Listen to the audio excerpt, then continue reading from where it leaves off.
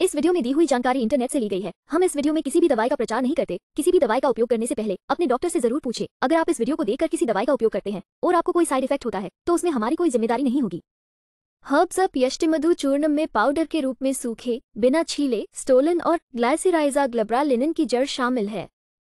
आपके चिकित्सक की सलाह के अनुसार यह चूर्ण आंतरिक खपत के लिए पूरी तरह से उपयुक्त है। आवश्यक कच्चे माल को जीएमपी मानदंडों और गुणवत्ता परीक्षण के अनुसार सोर्स और संसाधित किया जाता है। इसके अलावा, उत्पाद आयुष अनुमोदित जीएमपी और आईएसओ 9001 2015 प्रमाणित सुविधाओं के तहत निर्मित है। यह एक शाकाहारी उत्पाद है, जिसमें कोई अतिरिक्त संरक्षक या स्वाद नहीं है। चलिए जानते हैं इसके कुछ फायदों के बारे में। एक नद्यपान का उपयोग अस्थमा, तीव्र और पुरानी ब्रोंकाइटिस और पुरानी खांसी के इलाज के लिए किया जाता है।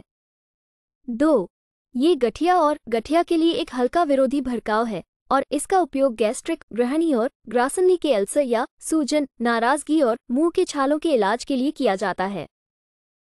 तीन, नद्यपान पेट में एसिड के स्तर को कम करता है, नाराज़गी और अपच से राहत देता है और अल्सर के गठन को रोकता है।